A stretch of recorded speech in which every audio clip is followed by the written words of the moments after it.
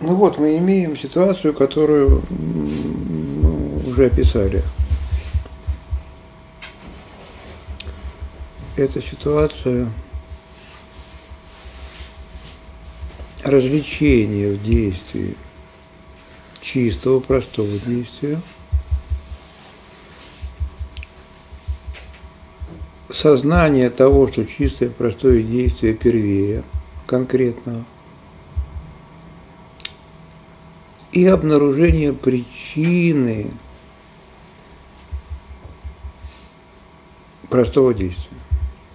Пока простое действие не выделено еще раз, мы не можем сознать себя причиной. Пока простое действие не выделено, мы не можем сознать себя причиной, потому что в действии простое действие прежде – определенного.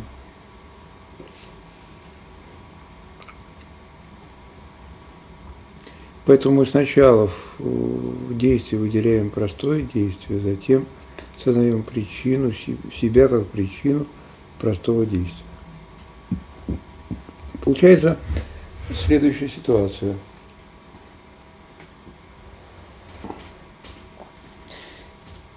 Мы являемся причиной причины.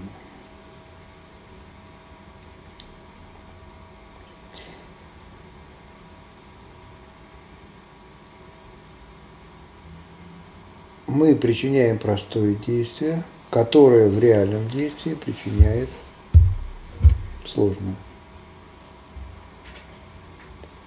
Мы являемся, сознаем себя причиной простого действия, которое в реальном движении руки определяет сложное действие, то есть определенное чувственно конкретное действие.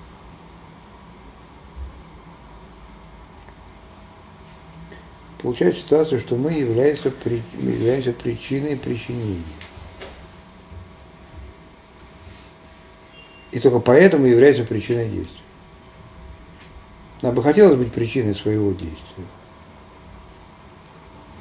Обаля я рукой раз и двинул. Рука моя, что не делать. Но в этом простом движении я являюсь причиной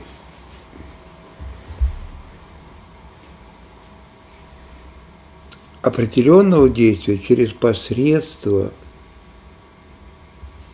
простого, чистого, абстрактного действия. Я определяю простое действие. Простое действие в действии определяет конкретное действие, поэтому я являюсь причинением причинения.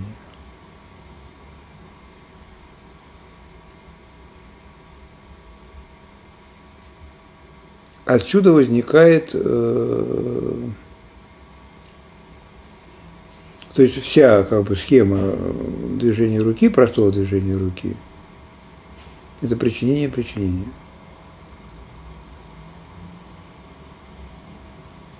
Я просто двинул рукой.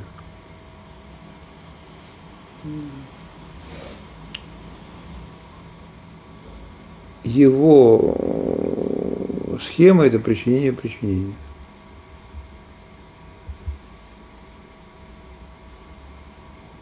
Я не могу быть причиной движения рукой, потому что в этом движении рукой есть чистое действие и конкретное действие. Конкретное действие я не определяю. Я его определяю только через чистое действие, потому что чистое действие – это тождественное себе поведение, которое как тождественное себе определяет определенное действие. Но вот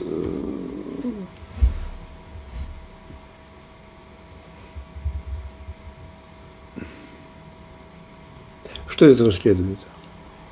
Если я являюсь причиной причинения, причиняю причинение в действии, это действие, девочка бросает мячик, она является причиной причинения, по-видимому.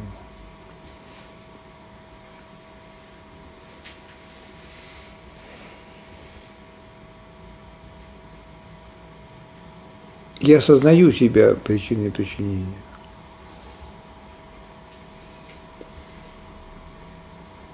А как можно быть причиной причинения, если ты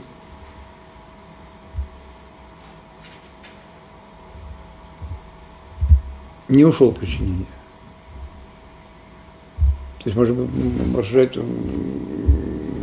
механически. Я являюсь причиной простого движения, чистого движения. Чистое движение является причиной конкретного движения. Получается ерунда. Я же являюсь причиной целого движения.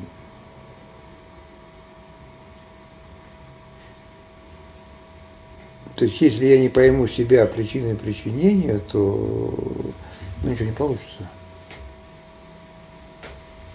А я являюсь причиной причинения.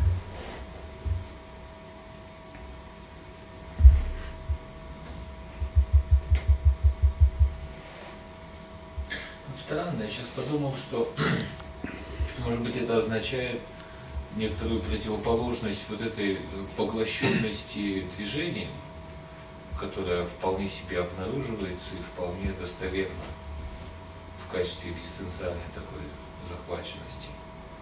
Потому что получается, что я вот таким я сознаю такое свое сложное отношение к движению, и в этом сознавании, по-моему, уже нет места захваченности все оно должно уйти. Кто должен уйти? Захваченность движением. Вот наслаждение просто движением.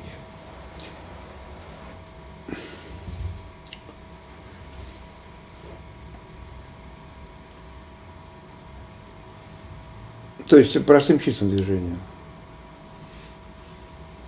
Ну да. Им в том числе. А что должно уйти? Ну, вот, вот эта захваченность. У нас э, была понятная экзистенциальная ситуация, когда можно быть захваченным движением, и это э, вскрывалось тем способом, что мы захвачены не конкретным движением, а чистым движением. Но если мы сознаем всю вот эту сложную систему, что я причиняю не просто движение, а причинение движения, то вот просто сознавание этой сложной конструкции, на мой взгляд, просто убивает захваченность чистым движением. Вы знаете, не убивает, мне кажется. Потому что я как определение движения, ну, чуть раньше, хотя мы это уже проходили, чтобы быть причиной причинения, нужно сохранять себя причиной чтобы быть причиной причинения, нужно сохранять себя причиной. То есть получается, что я как причина простого движения удерживаю себя в качестве причины. Иначе я буду просто движением, а причиной простого движения. Чистого движения. Должен удержать себя. То есть есть понятие чистое я. Да, как, как субъекта. Не, ну просто как если мы говорили, что форма не может быть чистой что форма всегда действие, которое уже перешло. А никак не может оно там как-то сохранить себя в виде чистого действия. Ну, чистое действие, как бы если его понимать, не в смысле чистоты понятия, а в смысле отличия от конкретного. Только тогда это можно говорить про чистое действие. Но никакого чистого я как бы нет. И значит отделенного я от самого действия быть не может. Да, так мы понимаем э, я как причину чистого движения. Только так. Как причина. Сознание вообще причина. В данном случае причина тела. В данном случае причина того аспекта тела, который является простым чистым движением.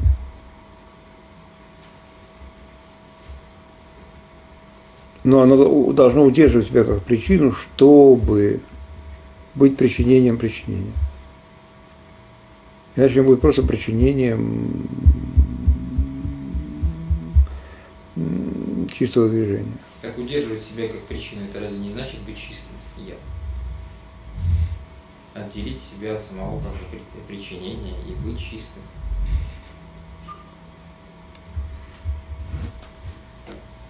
Ну, смотрите, может быть да, может быть нет.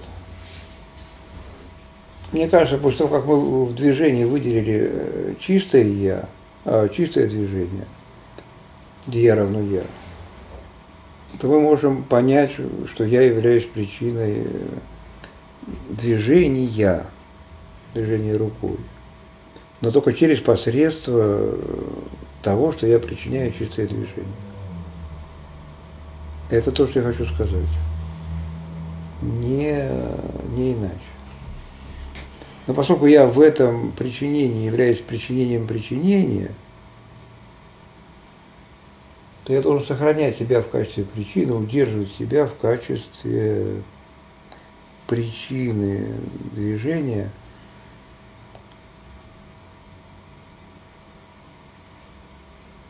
которая, в свою очередь, является причиной конкретного движения. То есть я являюсь причиной, повторяюсь, являюсь причиной причинения. Не получается ли это как у Канта? Вот у Канта же понятие опосредует наше знание о мире, да, там как бы есть индифферентное я, оно использует понятие для того, чтобы, ну, форму лучше говорить, да, форму чувства, там, или понятие, или в том числе и понятие там, да. Для Нет, того, Булат, потому что, извините, перебью, э, это не так, потому что у Канта я это субъект, которому принадлежит те или иные предикаты, по-моему. А здесь все движение. Я причина причинения – это все, что я могу сказать. Какое же это понятие? Понятие отношения мысли с собой, которое покоится. Я равно я. И ничего не происходит. А здесь просто причина причинения. Ну, я не сказал, что это очень просто. Но я причина причинения. И тем как бы участвую в качестве субъекта в реальной жизни. Знаете, когда я выделил движение, чистое движение, я в самом деле был захвачен этим фактом происходящего. Я попытался назвать это экзистенцией. Потому что я в этом, в этом движении, в этом аспекте движения соотношусь с собой. Я равно я, я двигаюсь. Чтобы было я равно я, должно быть движение рукой. Я двигаюсь, я равно я. А когда я становлюсь причиной происходящего, то только через аспект чистого движения. То есть являясь причинением причинения. Здесь опять нет понятия, нет покоя. И причинение причинение это такое же действие, как просто причинение. Просто я понимаю, что я причиняю движение через тот аспект, который выражается чистым движением. Просто через этот аспект.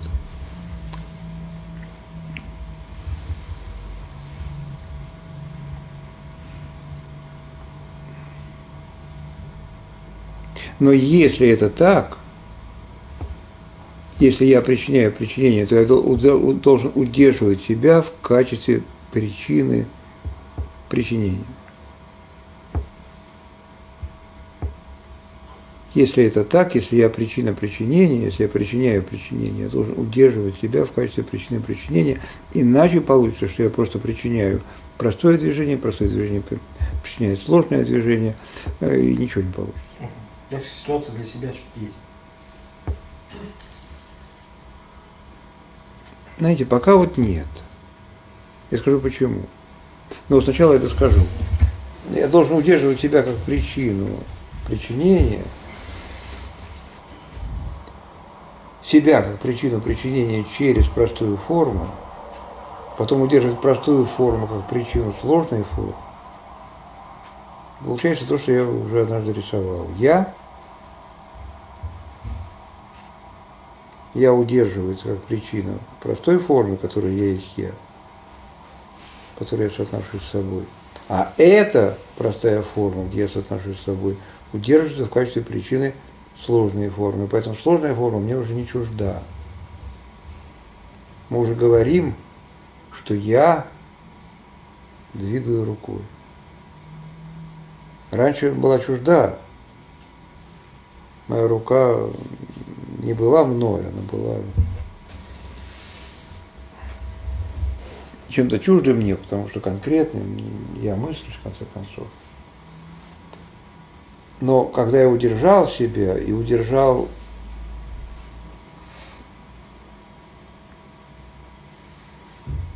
А Просто- удерживать себя и я равно я это одно и то же? Нет. Ну это странно, потому что я равно я, но смысл этого состоит, что я удерживаю себя. Как иначе оно равно себе? Дело же не, мы же говорим не про понятие, это в понятии, это я равно я, просто я есть понятие. А как тогда я равно это? Это как? Не в понятийном смысле.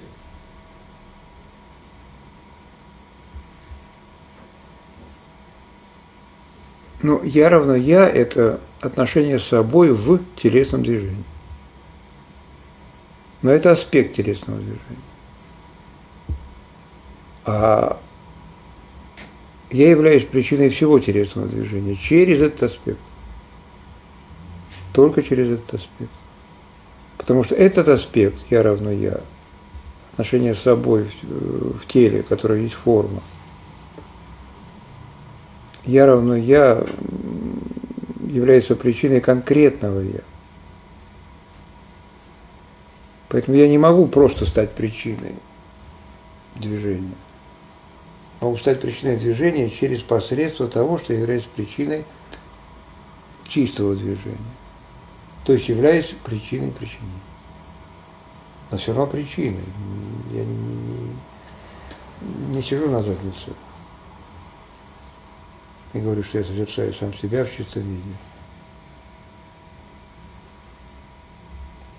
Так, а удерживаю себя как причину, это что означает?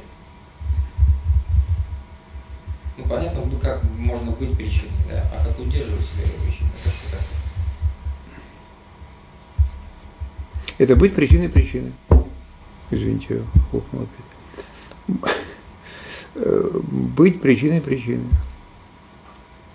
Вы не сможете быть причиной причины, если вы не удержите себя как причину той причины, которая определяет что-то другое через вас. Вы не удержите. То есть единственный способ э, понять себя причиной движения – это удержать себя в качестве причины. Что это значит? Это значит просто удерживать себя в качестве причины.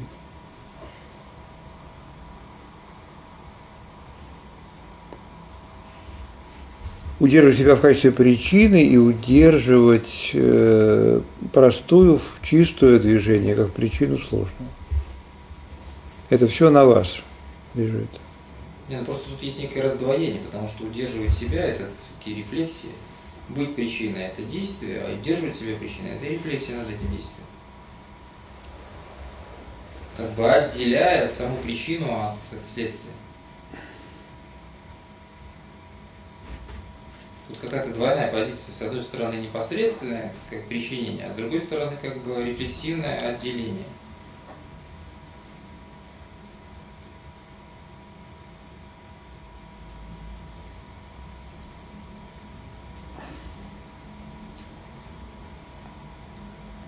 Да, двойная. Я собираюсь развивать эту тему. Двойная позиция, она не, не совсем ясная. Знаете, что тут не ясно? Что я, будучи основанием и причиной, являюсь частью происходящего. Здесь вот заключена, заключено противоречие. Будучи основанием и причиной всего происходящего, я в то же время являюсь частью происходящего.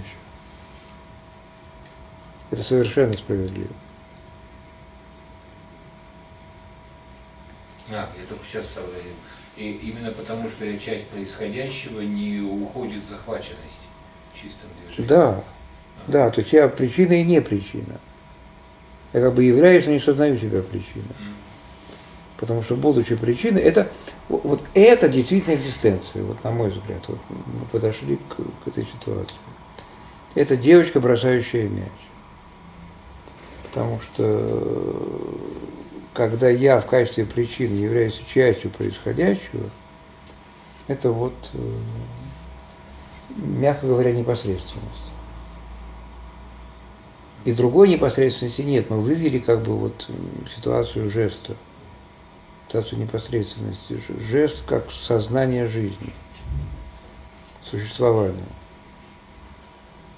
Я, безусловно, причина причинения, причина причинения, когда я удерживаюсь как причина простого движения. Простое движение удерживается как причина сложного.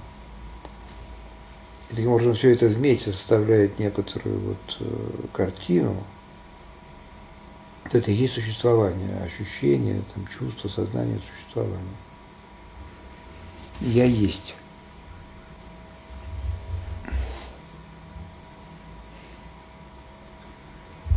Этом, при этом я, будучи причиной всего происходящего, и тем, что я удерживаю себя, и тем, что я удерживаю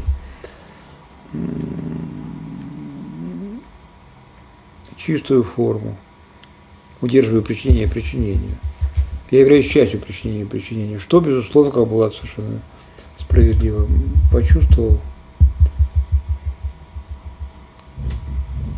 является чем-то незавершенным.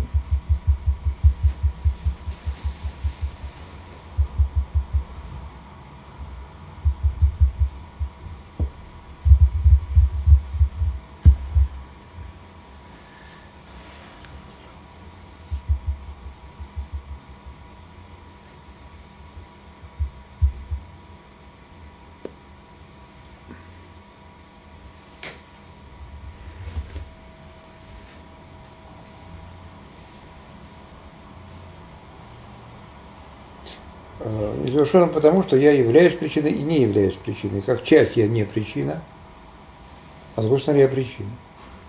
Никто кроме меня, а поскольку я часть происходящего, часть экзистенции, я не причина.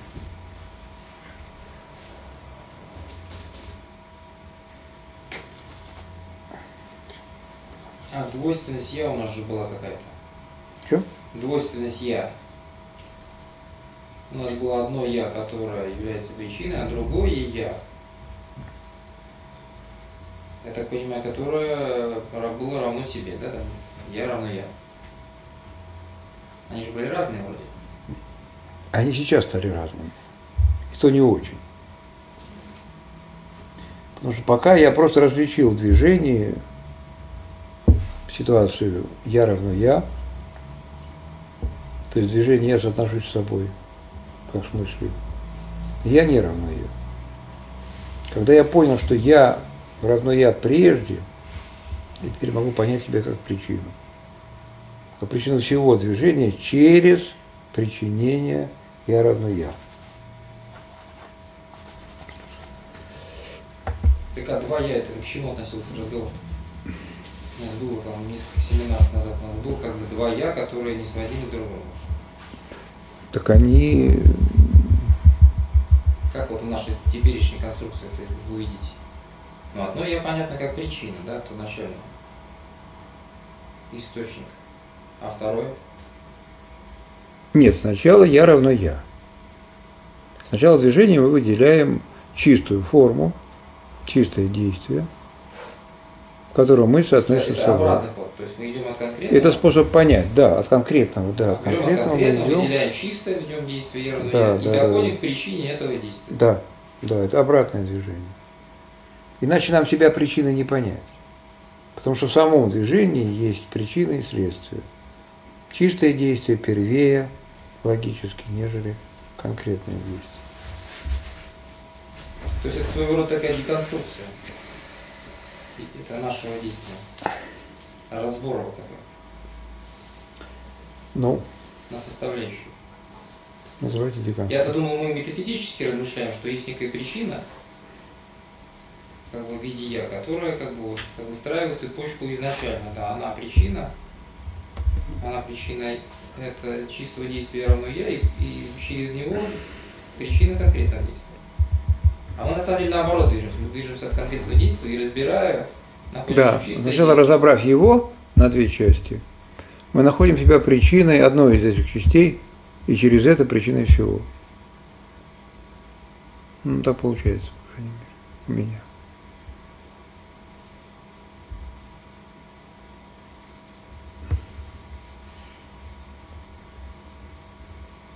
То есть, когда я уже различаю в действии две стороны, чистое и конкретное, я уже являюсь причиной. Я такое делаю, кто же кроме меня это будет делать. Но пока я не различил чистое действие, я, конечно, себя не осознаю в качестве причины. А когда я различил чистое действие, когда понял, что чистое действие является причиной внутри ситуации, я понимаю, что я через него являюсь причиной всего происходящего.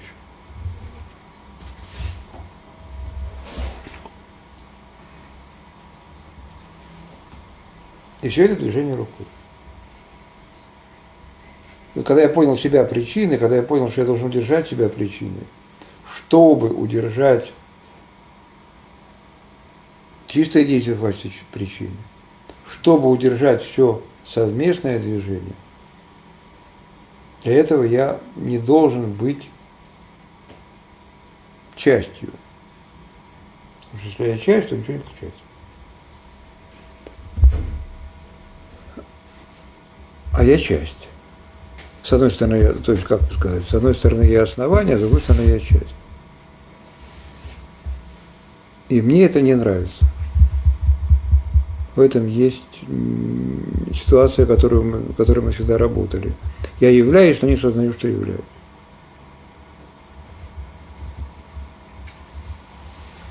Да, я являюсь, но не сознаю, что являюсь. И тогда я делаю что? Я сначала осознаю себя в качестве причины, в отдельности от того, что я причиняю, а затем причиняю. Я осознаю сначала себя в качестве причины, то есть это вот э, самосознание как бы, наконец но опять же в качестве причины. Сознаю себя в качестве причины в отдельности от того, что причиняю. Потому что когда я часть, я и причина, и не причина. Я осознаю себя в отдельности от того, что причиняю, а затем причиняю. Уже в силу того, что я существую отдельно от причинения. А не является ли эта конструкция своего рода кауза суи опять, нет? Причина самого себя только воспроизведенное уже в другом, в другой конструкции. Ну, Булат, кауза суи произведена в другой конструкции. Ну, то есть причина самого себя. Я тоже говорю об экзистенции, произведенной в другой конструкции. Мне самому, самому себя стыдно. Экзистенция называют люди совсем другие вещи. Я что-то построил, назвал это существованием. И... Ну, кстати, это имеет больше точек соприкосновения, чем прежние движения. Прежнее движение как-то было такое вообще, как в космосе. А здесь, по-моему, довольно близко. Не совпадает, наверное. Надо поскрести, но близко. К чему близко? Ну, скажем, к понятию экзистенции у Хайдегера. Это думаю, вполне близко. Вы, этим, вы имеете в виду, когда я являюсь причиной и частью одновременно?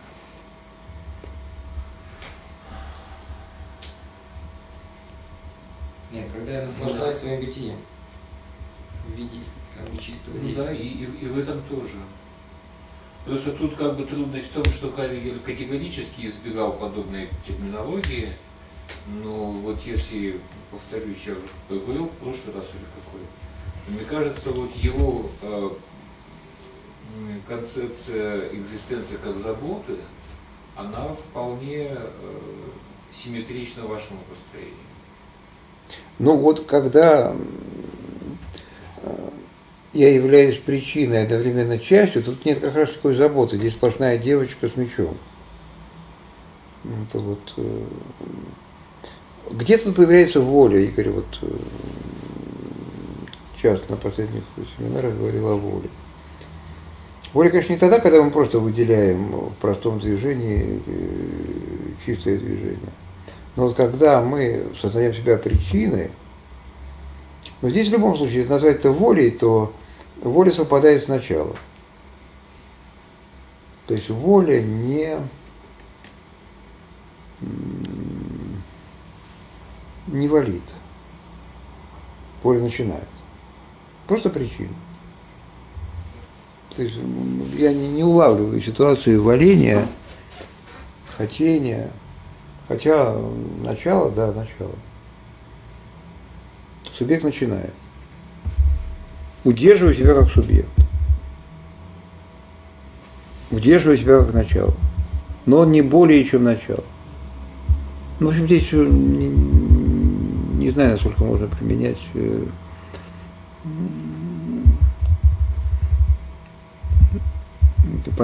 понятие воли. Хотя интересно, конечно.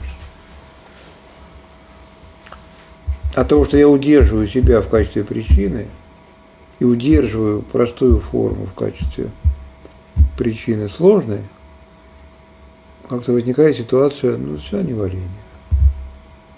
Я не, не вижу здесь валения.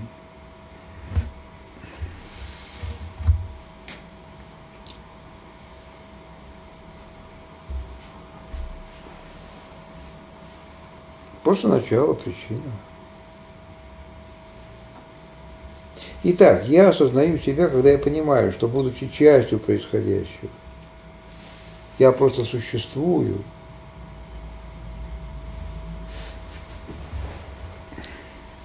И, собственно, радость существования заключается в том, что я, будучи началом, являюсь частью – будучи причиной, я являюсь частью. В этом и есть, собственно говоря, вот какая тут забота.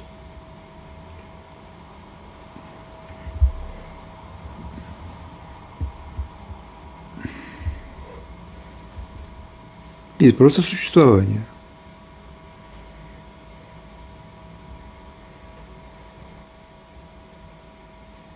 Но когда я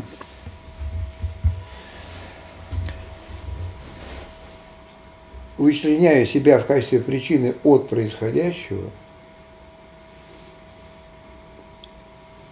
являюсь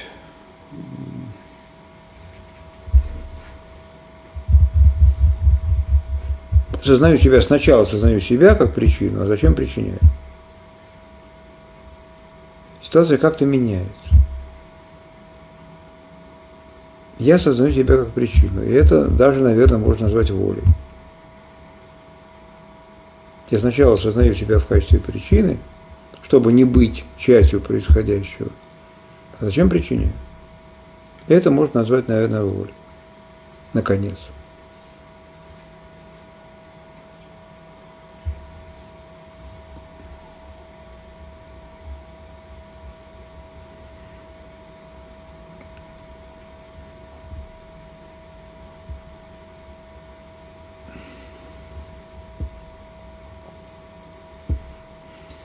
самом деле есть, мне кажется, такая вот проблема, которая она это, изначально присутствует, что я не очень понятно, как я отделено от тела.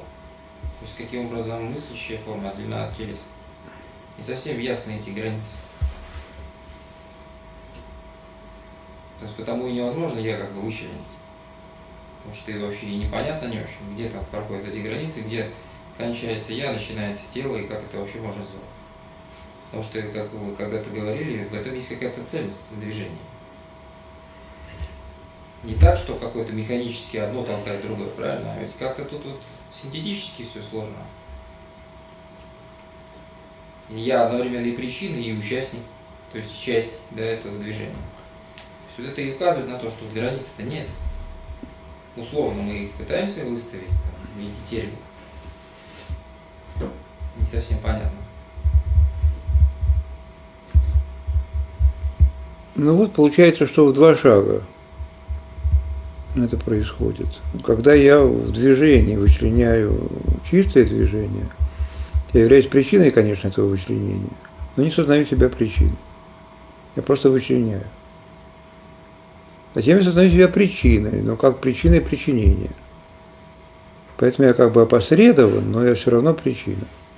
Все равно от тела я не от э, тоже. И, наконец, э,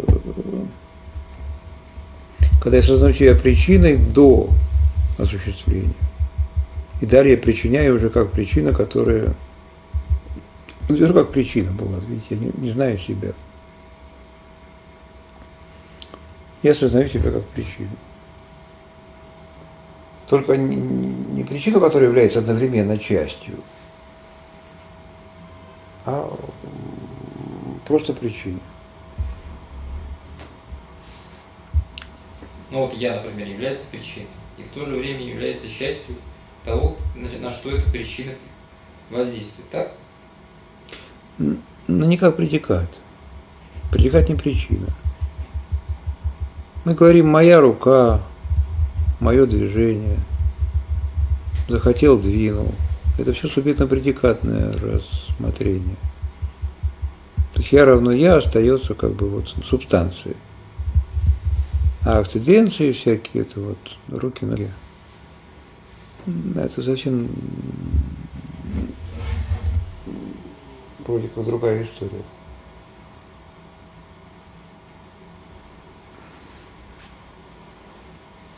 История известная, да. Я субъект, разумеется. Я валю. Что я валю? Как раз просто подволе ведь понимает не, не, не полностью я, а некое как бы вот такой, такой аспект я, который, собственно, и начинает, как вы говорите. То есть является причинением. Вот этот аспект я и называют волей. То есть как полагание первой причины. Это же не все я, не все же я сводится к. У нас же тоже как-то, я вот не очень понимаю, как-то я рас, не распался, как-то высветился в разных аспектах. Оно и причина, как бы, оно и участник самого процесса, да, где-то чисто действие. Может быть, можно сказать, что то я, который начинает, просто назвать его волю, чтобы различать.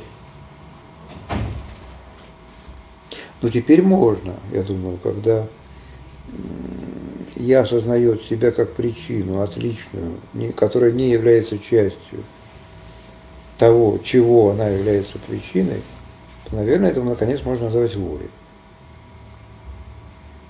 Игорь ждет давно уже, семинара 4 когда мы доберемся до воли, наверное, это можно назвать волей, если Игорь разрешит.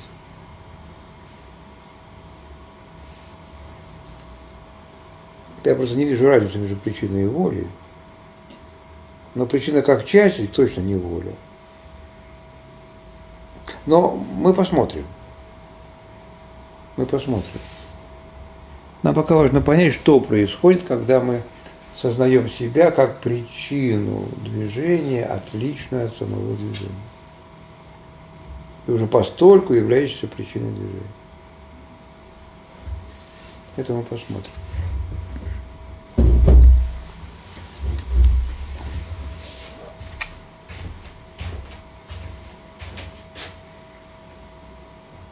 Причину движения отличную от движения. Ну, посмотрим.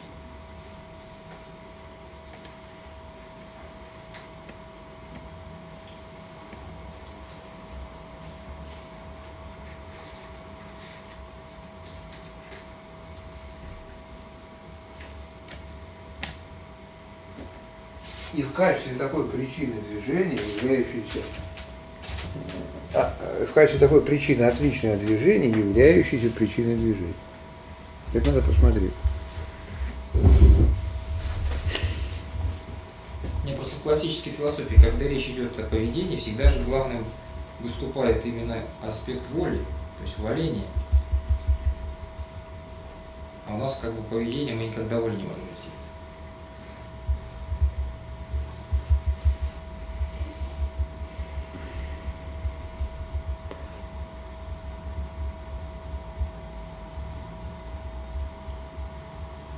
И не найдем, может быть. И фиг с ней, с этой волей, кому она сдалась.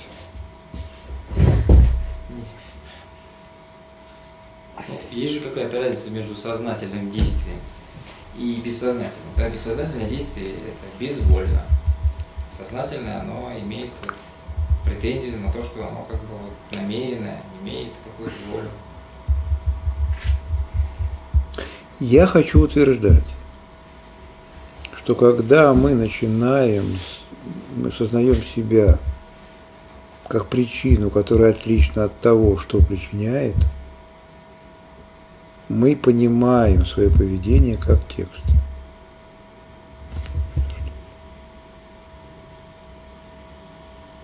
Я говорил, что наше реальное поведение – это субъектно-предикатное поведение.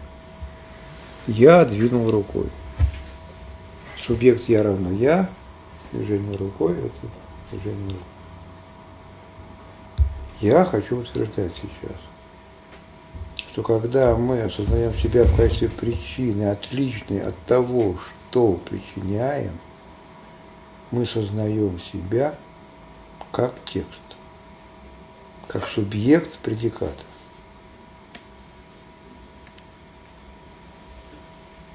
Когда мы сознаем себя причиной, того, причиной отличной от того, что причиняем, мы тем самым сознаем себя же, себя же субъектом предиката. Так все-таки сознаю себя как текст или как автора текста? Получается, как автора и как текст. Есть отличие все-таки. Еще есть, какое? Еще какое? Тело, тело движения, это текст. Когда я осознаю себя субъектом предиката, я осознаю себя одновременно как автором. И весь интерес, вся загадка ситуации в том, чтобы понять, я одновременно автор, поскольку я отличен от того, что произвожу, а то, что я произвожу, включает меня самого. Я двинул рукой.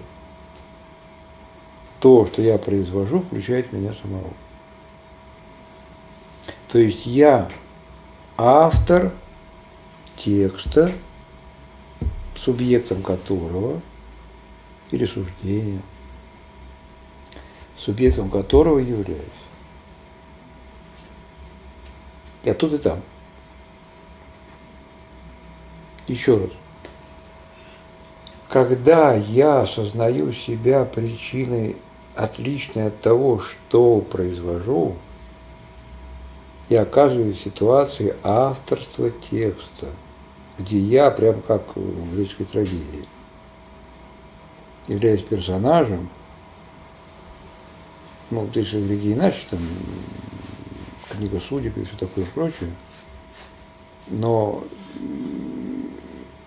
как бы при обнаружении судьбы я вижу текст, где я, сам я являюсь персонажем, я только в этом вижу сходство. Когда я осознаю себя причиной, отличной от того, что я причиняю, тем самым я осознаю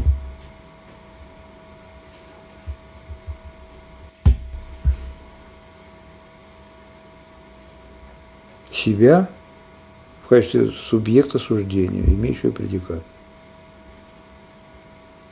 Я сам о себе сознаю. Я шевелю рукой. Я двинул рукой. Текст все-таки подразумевает отсыл к другим контекстам. А девочка, кидающая мячик в стенку, не обладает этим контекстом, он ей не нужен. Просто кидает и все. Да, девочке не нужно, потому что она находится на, на первой стадии, когда она в качестве субъекта является частью происходящего.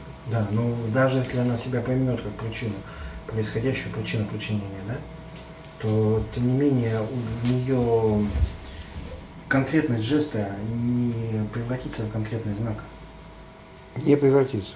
Ну, Потому что она осознает себя причиной причинения, вот эта ситуация причина причинения – это ситуация непосредственного бытия. Потому что когда я причина причинения, я часть, будучи причиной, я часть происходящего. И это, собственно говоря, и, и захватывает. Я причина, но я часть происходящего, я не совсем причина. А вот когда я себя как причину отличаю от происходящего, то происходящее превращается для меня в текст. И это уже взрослое состояние. То есть наше с вами нормальное состояние. Когда все происходящее есть текст, частью которого я являюсь. Для меня. И с этим приходится жить.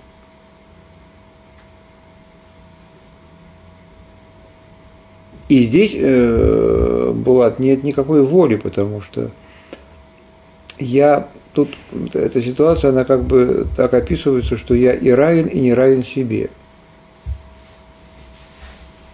Я равен себе, потому что и то, и другое я. Я не равен себе, потому что одно дело я как автор, а другое дело тот текст, в котором я присутствую. То же самое я. Чуждость конкретности жеста, чуждость конкретности жеста не превращает э, эту чуждость в чуждость э, значения. Мы же никуда не выходим за пределы э, жеста. За, за- за пределы телесных движений. Никуда не выходим. Поэтому не получается значение.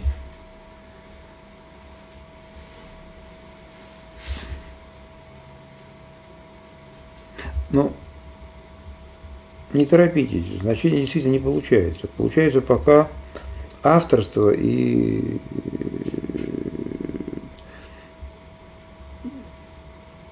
ты как предмет самого себя. В этом есть э, некое текст без значения. Потому что в движении мы... Я говорю только одно, что я совершаю движение. Но я одновременно автор того, что говорю. Субъект. Поэтому именно я говорю. И тот, который двигает рукой, это тоже я. Такая конструкция. Это тоже я, конечно. И я, который говорит. И я, которым говорят. Не знаю, как сказать. Э, Я, который говорит, говорит, что я двигаю рукой. Именно я двигаю рукой, на себе говорит. Есть два я. Самые два я, которые теперь уже окончательно разделены. Один автор, другой текст. Один автор, другой персонаж. Один автор, другой субъект высказывания. Но ведь античный герой, он же совсем не автор. Ну, это так. Он пытается быть автором, но у него нич- ничего не выходит. Э, э, Это так. Я, я очень ограниченно сравниваю с греческой трагедией, просто какая-то маленькая ограниченная связь есть. Есть. э, ну, Ну, это какой-то непосредственный текст, потому что в нашем движении ведь нет ни цели, ни намерения. То есть и в жестах наших нет никакого смысла. То есть это просто как бы вот тот, ста- тот непосредственный текст, который как бы ткется, и значение которого не- неизвестно. Да, совершенно справедливо. Значение, не, значение неизвестно, но мы рассматриваем как бы просто отношение автора и текста. Если у текста есть смысл, если Гоголь писал э, нравы малороссийской действительности, если Лермонтов писал нравы э, высшего петербургского общества, то да, Даже не только текста, не у каждого жеста нету смысла, там ладно текста. У каждого жеста нету смысла. То есть телодвижение проживается просто как непосредственно. Ну вот м, Потому что смысл значит это действительно там для кого-то там как-то значит. мы здесь... В нем должен вложен быть смысл, наверное. То есть должно быть намерение, цель, которого у нас нет. У нас же чистое движение, без намерения и цели. Оказывается, есть цель в авторстве. Цель в авторстве. Ну, Просто до сих пор у нас, как мы говорили о том, что телодвижение наше не знает никакой ни цели, ни намерения. Да, оно не знает и по-прежнему ни цели, ни намерения. Потому что цель авторства это, конечно, не- никакое не намерение. Это просто способ бытия, способ соотношения с собой. Вот я автор, вот я персонаж. Не, ну если мы владеем своим телом, мы авторы своего Когда я тела, говорю о себе, что я то- только двигаю рукой, то я, конечно же, не двигаю рукой, чтобы выключить свет или достать плод, или залезть под юбку. Я просто двигаю рукой. Но я уже как бы, мой интерес в том, чтобы в этом движении рукой соотноситься с собой как автор с персонажем. А персонаж что то тело? Нет. Персонаж я равно я. Субъект высказывания. Отношение с телом как с собой. А предикатом является отношение тела как с энергией. То есть я и автор, и персонаж. То есть я автор и персонаж, я сам действую, сам себя как бы оцениваю, да? Так, Ну да, как было этого черно. Я и тот, кто действует, и тот, кто оценивает это действие. ну вроде как так, да, я страшусь.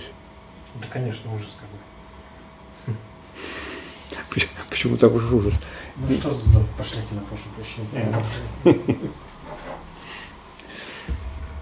Э, э,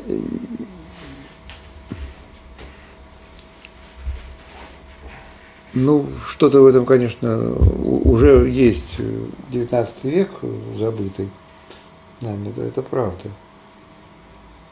Но я как бы чисто логически пытаюсь вывести ситуацию, причем мне Лермонтов мешает, потому что я все время хочу к нему свести. И, по-моему, я этого не избежал.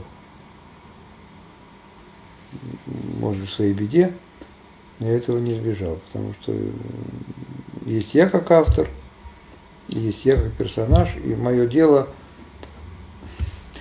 Ну ведь это же все, что со мной не происходит, все казалось, что я читал в какой-то книге там. Ну, уже это уже ужасно просто. Ранее в какой-то книге я читал, читал. нет, нет, нет. Это я, я действую, я одновременно слежу за тем, как я действую. Это Ага. не Печорин, это Грушницкий. А Печорин э, является автором совершаемого им действия, частью которого он является.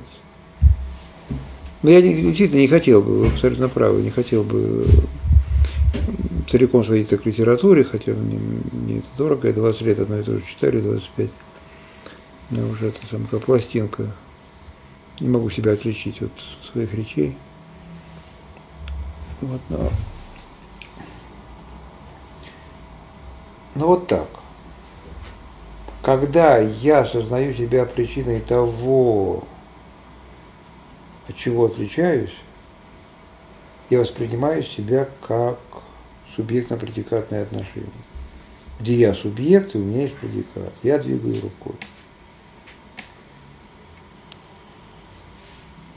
То есть я и здесь, и там. Два я.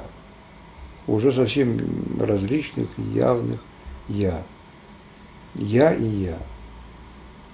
Я, который говорит, что двигает рукой, и я, который двигает рукой.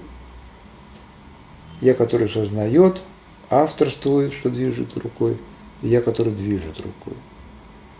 Но их два, и они не равны себе. И находятся в каком-то отношении между собой. Эти два я не...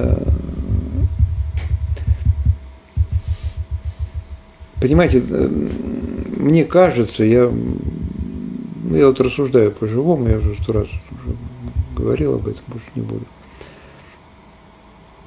А, Достоверность – это самоотождественность, актуальность. И когда я равно я в движении тела, то это жизнь.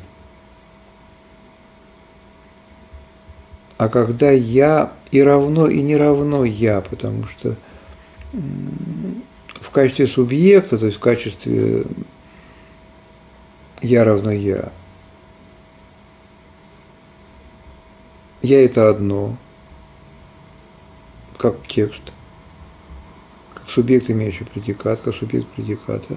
И есть я, который выстраивает отношения субъекта и предиката. То есть и равно, и не равно. То есть нет ощущения достоверности. Или оно есть, но оно вот такое. И достоверность авторства, конечно. Но достоверность авторства это как бы действительно смешно. Достоверность авторства. Я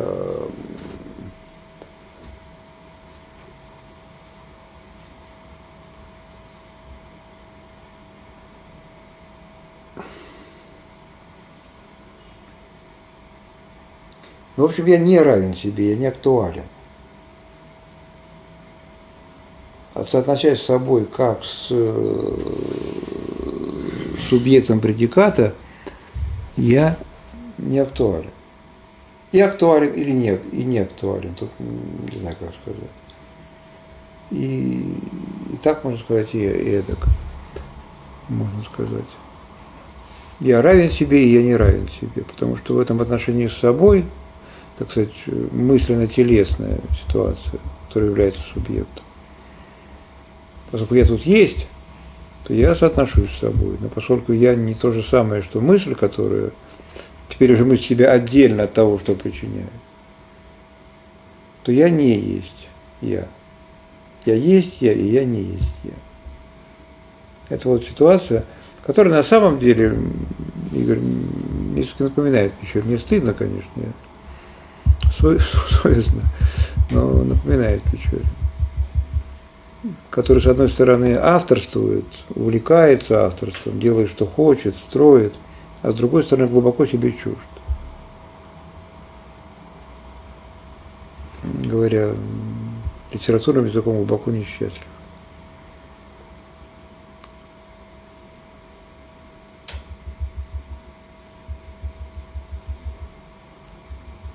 А если мы попытаемся отказаться от авторства, а поскольку здесь нет достоверности, то мы как бы находимся в ситуации, когда можем валить или не валить. Достоверности-то нет. Когда мы являемся причиной, которая является частью происходящего, мы не можем валить и не валить, мы валим называть это волей, то мы валим. Мы не отличаемся от существования. Валение и начало одно и то же. Мы валим, черт побери, потому что валение и начало одно и то же. И это видится понятно. Мы валим. Но когда мы недостоверны для себя – полудостоверным для себя. Можем не валить.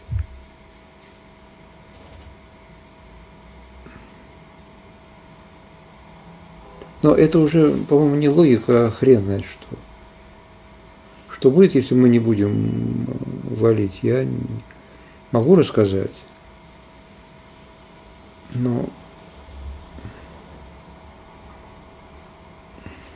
Не, ну помимо сознательных движений, есть какие-то другие движения? Но они есть, но их же надо объяснять. Мы собрались не для того, чтобы просто э, перечислять движения, которые есть. Я пытаюсь вывести, я говорю только то следующее, что есть, когда еще, когда я осознаю себя причиной отличной от того, что она причиняет, то я воспринимаю себя как текст в этом тексте я и достоверен, и недостоверен для себя, говорю я.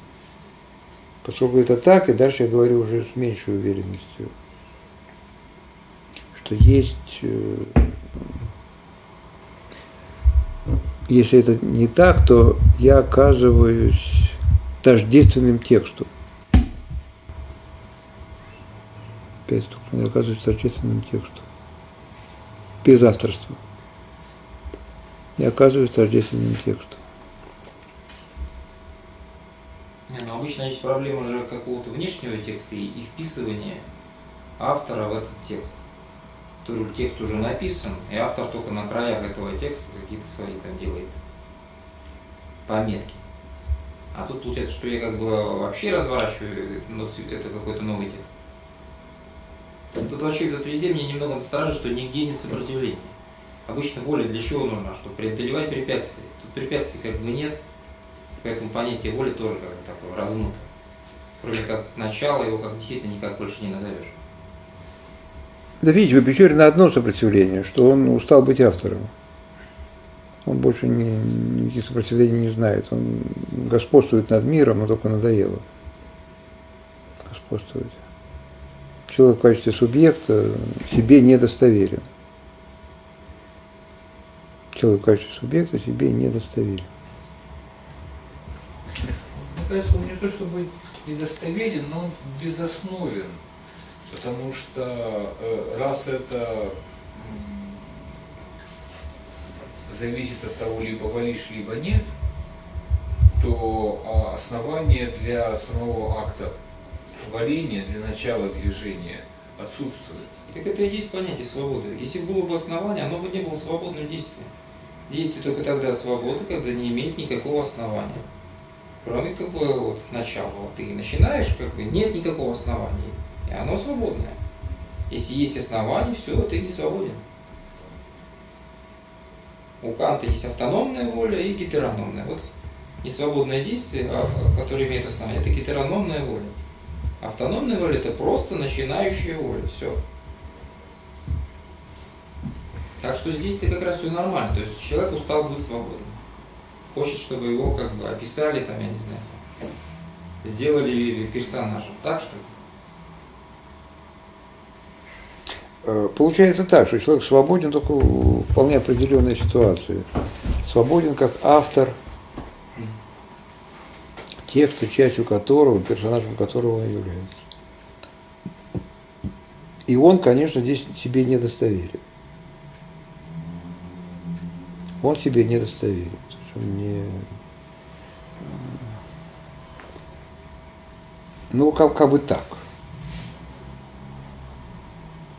Но это же позиция абсолютная, правильно? Там? Он себе не равен, он не, не, не актуален, он не соотносится с собой, потому что одно дело быть автором, другое дело быть следствием этого авторства. Это, Ну, это то же самое я. Модель того, как Бог мир творит. То есть она же такова же. Бог творит мир, как бы им управляет, и точно так же с ним не тождественен. И в нем все это недостоверен сам для себя, через него. Тут же вся, все то же самое. Модель вся та же самая.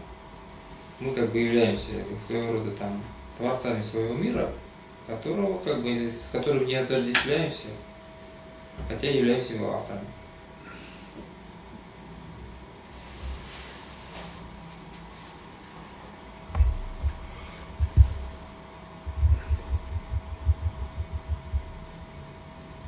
Мне вот еще тут пришла в голову мысль, что на самом деле вот два я, о которых мы говорим, одно я как бы внутреннее, какое-то внутреннее переживаемое нами я, да, Все равно причина. причина. А второе я, оно какое-то внешнее. Мы к нему приходим как раз, когда оценим конкретное телесное действие, снимаем его там до этого, до чистого действия и доходим как бы до вот этого вот я равно я там, да. То есть есть какое-то движение как бы изнутри и есть движение как бы извне.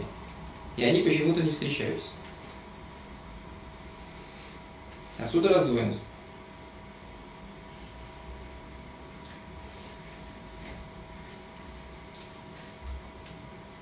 Когда я мыслю себя причиной того, чего отличаюсь, есть две ситуации. Я определяю себя, и я определяю то, что определяю. И это опять я. Вот это вот два я, это самое интересное на самом деле. Определять другое нетрудно. Двигать рукой, если я это я, рука это рука, я двигаю рукой, ничего смешного. А вот то, что я определяю себя, двигающего рукой, то, что я в определении себя определяю именно себя, и тут и там я. Я в качестве вот это вот отношения с собой, где я являюсь либо персонажем, то есть субъектом предиката, я двигаю рукой в жесте, понимаете? Я двигаю рукой в жесте. Я не двигаю рукой э, как субъект, как автор. Надо различать автора и субъекта. Субъект высказывания. В самом движении я двигаю рукой, потому что я через движение рукой понимаю себя, и это все жести. Я являюсь я в жесте. Я являюсь я как мысль, которая все это мыслит и высказывает. Я говорю, я двигаю рукой. Это первый я говорю, это тот, который мыслит, а второй я, тот, который является частью жеста, частью жеста. Тот, который является частью жеста. Потому что я равно я это жест. Ведь мы соответствуем с собой в движении, предикатом которого является движение рукой, а не какое-то другое движение. То есть жест это включает в себя я именно как жест. Не языком я говорю, я двигаю рукой. Я рукой говорю, я двигаю рукой. Опять я не точно выразился.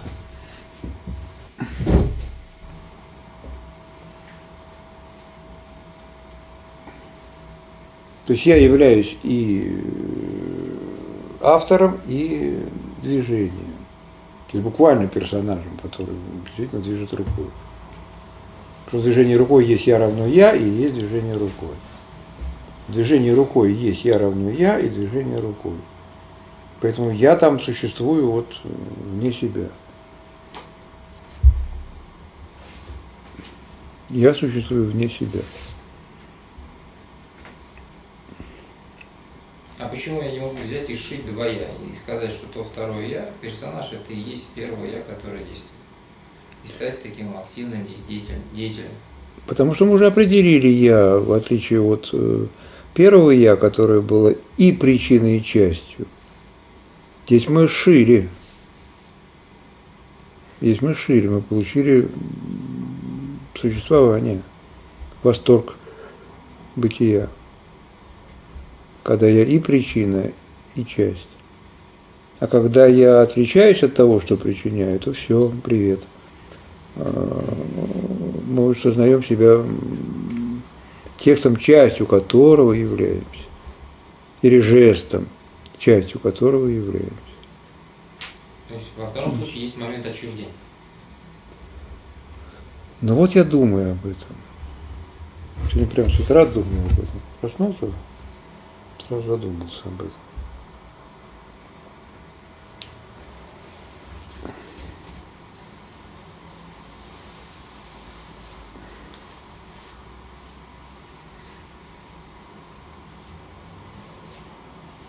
Почему говорим об убеждении? Потому что здесь нет «я равно я». Я это сформулировал так. «Я равно я» и «я не равно я». Поэтому это не совсем отчуждение, не просто «я не равно я», это было бы, ну, как бы, другой ситуации. Нет, скорее отчуждение надо было бы так сказать, что как бы некоторого рода я перестало быть уже для меня мной. Как бы. Мной, да. Оно, оно как бы я, но, но уже я его не признаю. Ну, опять же, это не то, чтобы не признаю, признаю и не признаю. Признаю, но поскольку она уже перемешана с телом, она часть жеста, как могу себя признать, вот, открываю книгу, и, которую сам, я сам пишу, вот я двинул руку, вот, вот, вот, э, я пишу, и я пишу, не книга судеб, я пишу, я двинул рукой. Вот я смотрю на то, что написал. Там я. Я честно пишу про себя. Я двинул рукой. Тут есть субъект я, предикат, рука. Вот и я, который сидит и пишет.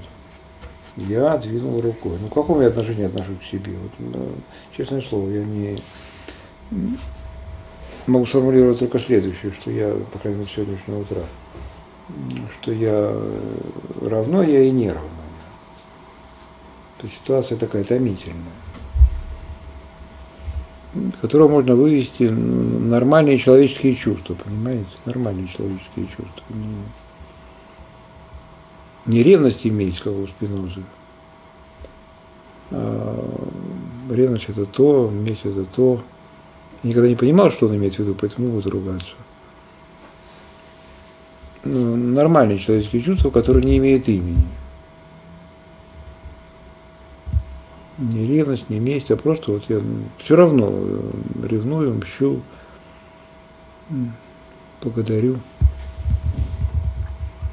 Ну вот, например, машина производит продукт. Машина не сводится к продукту. Ну, как бы продукт, она этим как бы говорит, я произвожу продукт. Разве это не аналогично тому, что мы говорим? Ну, что и разница, что она не говорит. Нет, но она говорит самим фактом производ- производства, что я произвожу продукт. Но вот если бы у машины было сознание, то было бы как раз то, то самое, да. Машина о себе говорит, я машина, я... Не, может быть, здесь Кручу колеса. общая логика существует э, в, в том, что всякое действие, оно вот в силу своей конкретности не может поглотить всего субъекта. Вот, и субъект только через него выражается, но никак не, в нем не существует. По- По-другому, кроме как какой-то только доли, части там. Как машина производит продукт, в продукте присутствует э, как бы вот то, что именно машина его произвела, но машину никак не свести к продукту. Так же и мы. Мы производим какие-то действия, но самих действий это не может быть редуцировано. Это такой способ выражения нашего я. И поэтому не существует абсолютного выражения, да, когда бы я бы могу полностью выступить во всей своей как вот, целостности и, и, то- и- и одновременно конкретности. То есть такое вот абсолютное выступление, когда я абсолютно бы выразился в жесте, да, полностью до конца, такого не бывает. А всегда вот такая конечность, половинчатость, такая вот какая-то там раздробленность. Видите, м- может и бывает, потому что ну, мы застряли на определенном месте, но вообще-то, если принять эту лирическую несколько посылку, что я равен и не равен себе, поэтому это некое такое томление, которое могу отказаться, я сам определяю себе причину, которая отлична от того, что причиняет, Поэтому я как бы, может быть, и волен действительно отказаться, тем более, что не равен. Был бы равен себе, я был не волен. Отказаться. Мы получаем тождество человека с текстом. То есть я шевелю рукой не как автор. А что это означает? Это означает, что я равен шевелению рукой. Я не удерживаю себя. Я свидетельствую, Уже не свидетельствую. не свидетельствую. Автора уже нет. Автора уже нет. Я уже не свидетельствую. На- Вначале я равен просто движению рукой, а потом я есть движение рукой. Понимаете, красивая девушка красива не тем, что она красива, а тем, что она ведет себя как красавица. В этом поведении себя как красавица она полностью растворяется. Полностью растворяется. Есть субъект, есть я равно я, чистое движение, и есть предикат. Вот если я отказываюсь от авторства, я оказываюсь в предикате. То есть движение, через которое я понимаю себя. Если я откажусь от авторства, то я окажусь кем? Я откажусь, окажусь чистым движением, которое является субъектом предиката и сознает себя просто через предикат. Не авторствует уже, автора нет. Я отказался. По причинам мне не очень понятным, лирическим. Но, предположим, я отказался вот э, Доверился судьбе. доверился, да. Тогда оказывается, что я тождествен тексту, а текст заключается в том, что я раскрываю себя, понимаю себя через предикат. А что является предикатом? Сложное движение, определенное движение. Я как-то говорил, что девушка, я иду по улице, девушка наматывает шарф. Это все, что эта девушка знает о себе, что она наматывает шарф. Шарф не является признаком, но действие наматывания шарфа является признаком.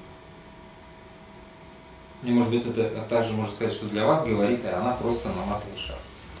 Для нее это не жест. которым хочет она указать, а просто наматывает и все, без всякой цели, намеренности и прочего. О, Я об этом и говорю, что девушка наматывает шарф и через это существует.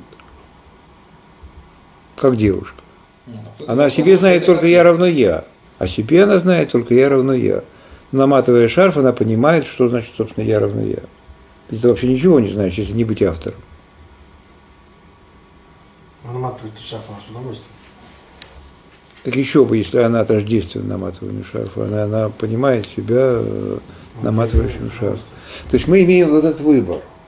Очень предварительно я говорю. Мы имеем либо авторство томительное, либо абсолютное совпадение с э, конкретно чувственным движением. Я есть я. Ну что это говорит уму или сердцу, если ты не автор? То есть три существования. Дев- де- девочка, которая кидает мячик, это святое. Эта причина является одновременно частью происходящего. Второе состояние я автор происходящего. И третье состояние я существую через определенное чувственное движение. А уж какое оно там исторически, что там должны девушки делать? Шарфы наматывают, шарфы разматывают. Как себя красавица должна вести? То ли смотреться в зеркало, то ли не смотреться в зеркало. Это уже как бы другая история. Мы не можем это вывести логически. В одном мире там смеются, в другом мире плачут, бог с ним. То есть после отчуждения возникает э, еще обратное э, признание всего, что как бы там существует, да? наоборот, возврат существующий. Так что? То есть сначала как бы существование, чисто, ну как бы какое-то такое непосредственное, потом как бы отчуждение от этого существования, а потом возвратное. Только уже как бы на новом уровне, что ли, как-то. Так что ли?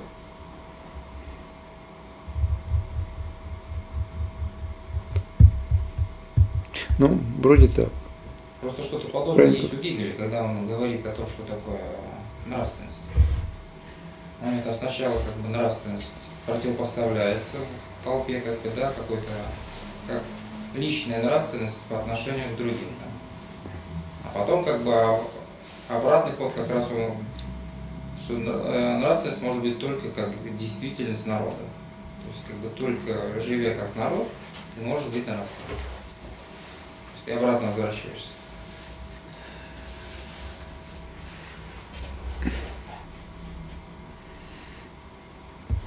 Я просто не знаю этого места у Гегеля.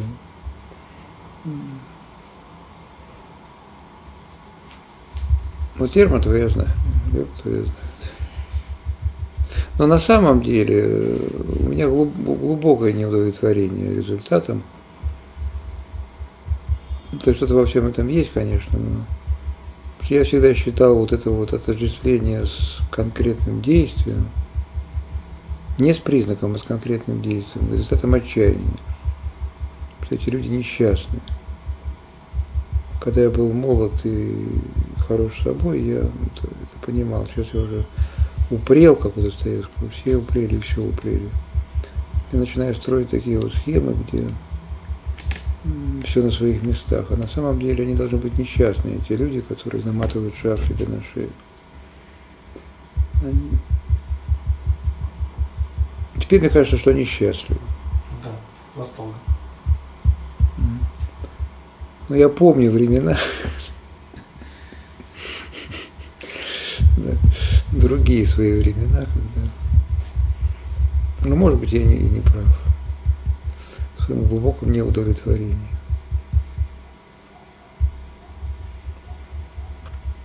Ну вот, мы все время куда-то двигаемся, я каждый раз говорю, что закончили, все, пока. Да, потом опять совершаем какие-то движения, да, даже, даже не маленькие какие-то, посмотрим, что будет дальше.